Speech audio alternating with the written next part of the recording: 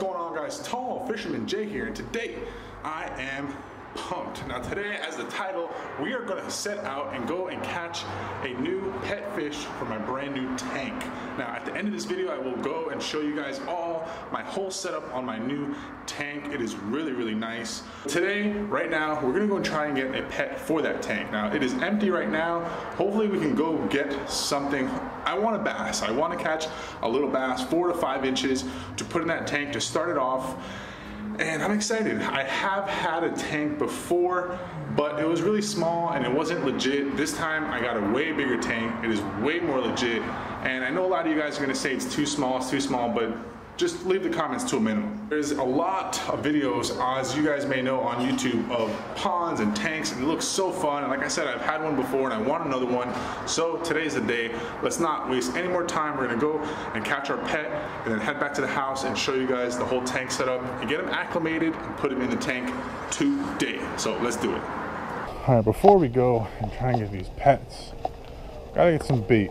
Something that the little guys will eat. We could use bread, could even to use little Senkos, but we want to make sure we get what we want. So we're gonna get worms. We're gonna get these little, these little tiny worms. They're thin, they're small. The little baby bass, love them. So we're gonna get these and some small hooks, and we're set. Bam, got the hooks. We are off to the water.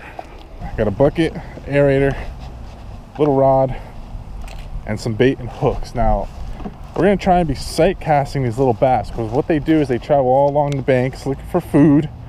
And we're gonna try and sight cast. The bluegill pretty sure will be a lot easier than trying to get one of these bass so i hope we catch something. I really want to put something in this tank and show you guys my setup that i have at home. So let's get started?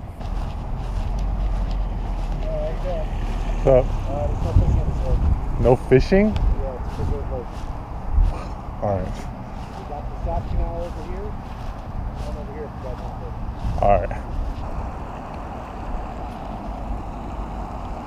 Come on. You got him! It's too big. Pull him up! It's like a L- it's like a crazy Oh, it's called Beamworks. Dude, I keep getting big ones. Yo, you're missing out on the action, man. But one day that I want smaller ones, I keep getting keep getting the ones that are too big.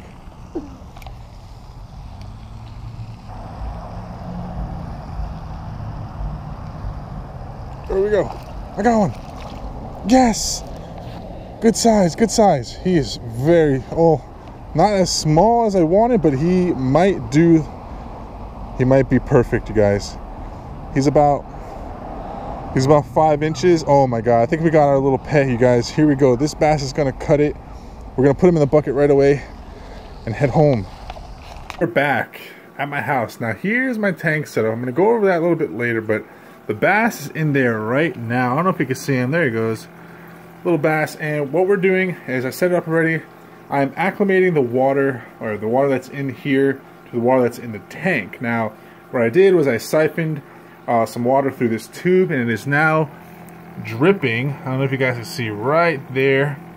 It's dripping into the bucket. Now we're gonna have this process happen for about two to three hours. We're gonna we're gonna give it some time let him acclimate properly so when I put him in the tank he doesn't get shocked and die. So we're gonna leave him in the bucket for, like I said, two or three hours, and then we're gonna come back. We're gonna put him in the tank, and I'm gonna go over my whole tank setup here. Uh, for you, it's gonna seem like seconds, but for me, it's gonna be hours. So here we go. So it's been about four and a half hours. It's been a while. A lot of water has actually got into the bucket, even from the dripping system. So we're gonna take out our siphoning device and we're going to shut our aerator off and our little bass is hanging out still. We're going to take the lid off just so we can get him out of the bucket nice and safe. Got our lid off and we also have our little net here just so I can avoid touching him as little as possible from transferring him to this bucket to the tank. Oh, look at that. He went right in the little net. Okay, let me open this. That'd be a good idea. Alright, here we go. Transferring my new bass. Ready, bud? You won't be out for long. One second. Out of the bucket. Oh, he's ready to go. Whoa. All right, buddy. Hold up. No, out is the other way. There you go. And he's in. Whoa, he's freaking out. He's checking out his area. There he goes, you guys. There's a little bass in a brand new tank.